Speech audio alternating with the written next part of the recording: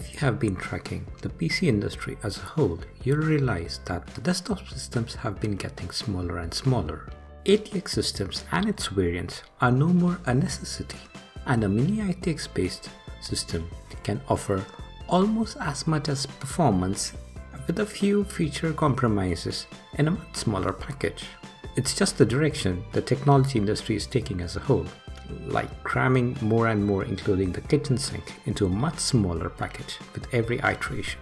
The Intel NUC is an extreme example of the same, but when you're looking for a custom build, you want a bit more flexibility than NUC can really offer. With this in mind, I decided to go in for the Mini ITX Cube design from Fractal Design. After you have got over the initial jokes about it being a microwave or a mini fridge, you'll soon realize that it is a clean, minimalistic yet functional design, typical for a Swedish company. I have gone for a white case, but you can also get one in black. The front panel has a single LED for power and hard disk activity, two USB 3 ports, and also a microphone and headphone port. It has a snap-on front cover that can be removed for cleaning the fan filters.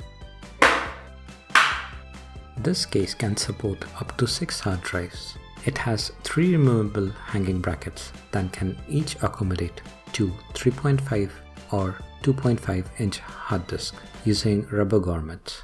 These hanging brackets can easily be removed by just one screw and two thumb screws.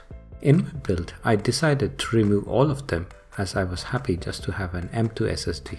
Just note that the single screw for the bracket can be worn out easily, so be careful as you don't want a stuck tiny case screw.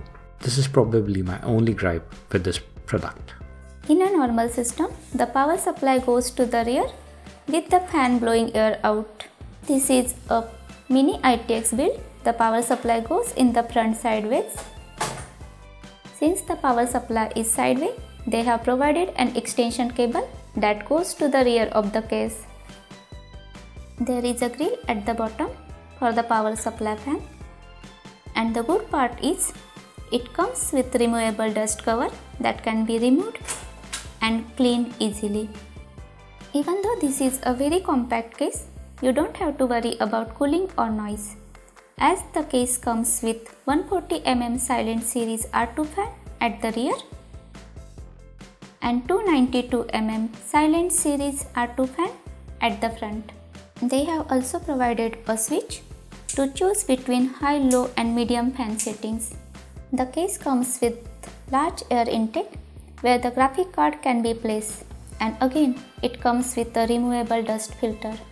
This case can support a full-size graphic card if you choose a compact power supply, which is less than 160 mm in length, like the Fractal Design Integra M. Do check out my video for more details. This also requires you to remove one of the hard disk brackets, so the total number of hard disks are down to 4.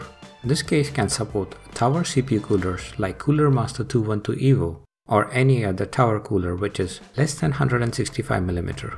Again, check out my review of the same. This case requires more cable management than a typical ATX case, but Fractal Design has tried to help you by providing you with notches for the same.